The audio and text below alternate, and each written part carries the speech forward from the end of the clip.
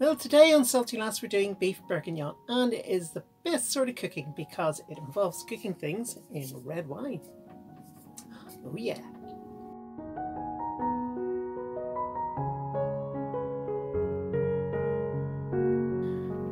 So we'll put the ingredients down below in the description. And what we've got for this is we've got some chopped onion and garlic in there. That's basically a medium onion. We've got some nice pieces of shin in here and you'll notice in the bottom it's slightly different colour. That's uh, bacon. We've got mushrooms, shallots, stock cube, some thyme, the red wine of course, some tomato puree and instead of thickening it with flour we're going to thicken it with lentils. Um, we will be doing other ve uh, vegetables with this like potatoes and carrots but they will be done separately because this shin being what it is takes a long time to cook and to save gas, we're going to be doing it in our Mr. D thermal cooker. Now, if you're doing it at home on a conventional kitchen stove, there's no issues. You simply just put it on, turn it to simmer, and off you go. But we're in a sailboat. Gas is a big, big thing. Expensive, hard to come by, and runs out very quickly. So we will be using our thermal cooker to get it up to cooking temperature, and then we'll leave it for two or three hours. So let's get stuck in. I'm not going to pretend there's any great science to this. Quite frankly, I'm just going to bung everything into the dish one after the other. I'm not a big fan of browning meat. All it really does, in my opinion, is dry the meat out, and that's no good. So I'm going to start by putting in the onions and the garlic, which I've done in my little mechanical chopper. Once again, it's a mechanical chopper because it requires no electric. And electric is energy, and energy is everything on here. So if you're at home, you can use some sort of blender or mixer or something, but what I've got here is just literally very, very finely chopped onions and garlic. Right, so in goes the beef.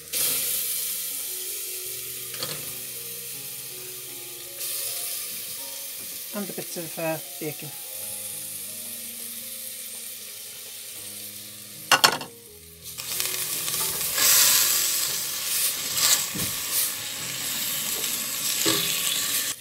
So I'm just going to take the stock cube,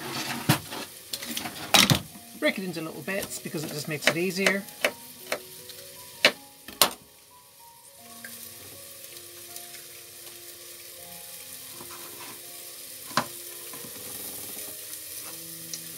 Put the thyme in in a minute, but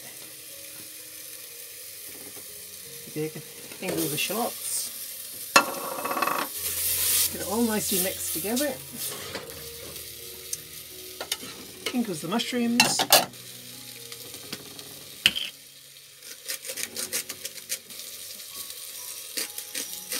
Pepper.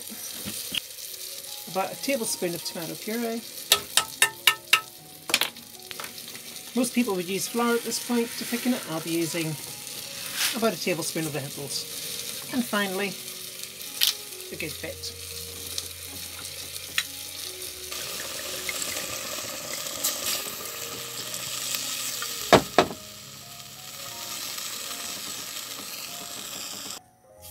Just took all that in. A bit more red in, I think. There we go, let's finish the job. And let it simmer. Okay, so it's bubbling away merrily in there. And so it's time now to put it into Mr. D.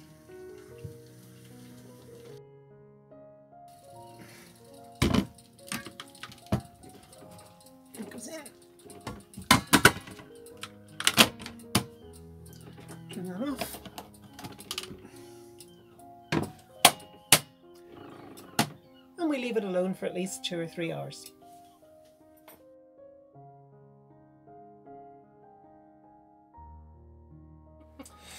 Yeah, so um, as I say, she's got the boiled potatoes and the carrots, and uh, she's just put um, oil on the potatoes and a little bit of Olive oil. olive oil And- and, and basil. basil. on the carrots. Olive oil and basil.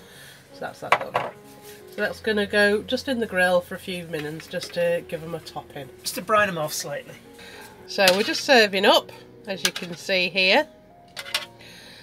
Um, just browning them under the grill um, for a few minutes. Just gives them a lovely finish. It just gives them a little finish. Okie dokie, so let's see what's in here. Let's See what Mr D has served up today.